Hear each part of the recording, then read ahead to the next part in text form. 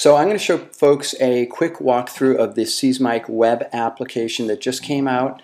Danny Brown did a quick post about it today, and I'll link to his post in it.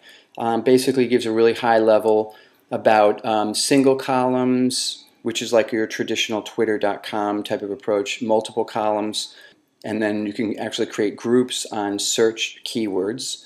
You're going to go to http colon forward slash double forward slash seesmic.com forward slash app forward slash. Okay, once you get here, you'll have a big button, connect to Twitter. Okay, it'll lead you to Twitter. You put in your username and password, and then you're logged in. Okay, so now uh, let me show you a couple things here. The single column view is this. Okay, that's all you're going to see basically, and it's just showing the entire timeline.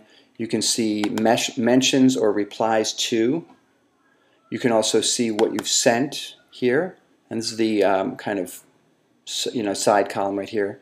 Uh, direct messages. This is basically functioning kind of like Twitter.com. The real magic of Seesmic with uh, the desktop and the web application is that you have this multiple column approach. Okay, and within each uh, tweet here for the user, I'll just show you a couple different features. One is right here, you have the reply okay?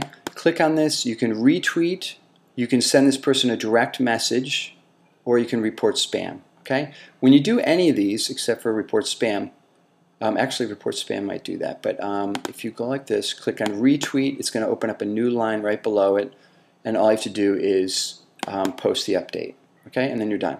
Now, this is the latest in the timeline, so I just showed up at the top. We're going to X out of this. I'm not interested in that.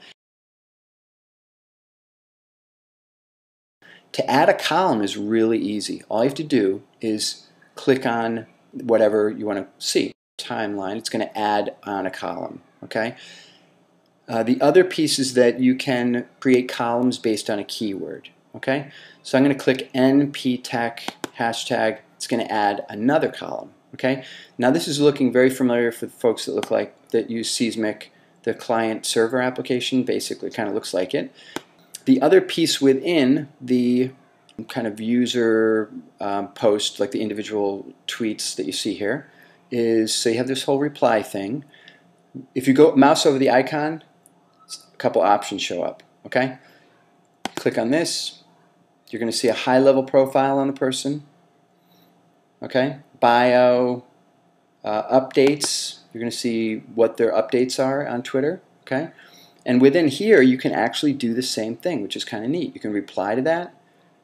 Uh, the other thing that you'll see here if you mouse over the icon is message. Now, when you click on this, it's going to open up a totally new column. Okay, columns right here, and basically you can do, type in whatever you want.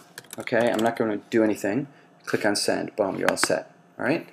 Uh, the last piece that I'll show you here is unfollow. You can either follow or unfollow people. Within this section, again, there are two more features. One is favorite. You can just favor these posts, okay? And it's not going to favor the person. It's just going to favor the tweet, the specific tweet.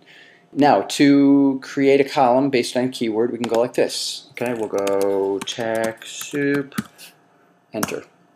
Okay, that's it. Anything that mentions that particular hashtag, when you save it, it's going to pop over right here. Okay? You can't really add individual users to groups like you can in the client server application, but you can save searches, a search really on anything. Okay? I think that is pretty much it. So this, this is really great. You could also post up here, okay? Um, if you want to add a link, it will insert the link. Um, click on insert, boink. It's going to automatically shorten it with the bit.ly service, okay? So you can post anything you want up here. Um, and then you can reply to, send direct messages to folks down here, and then organize your columns, however you want to do them. You can X out of the columns. Once you X out of them, you're not losing them because these are keyword searches. They're simply showing up over here. You click on these, boink, column pops over again.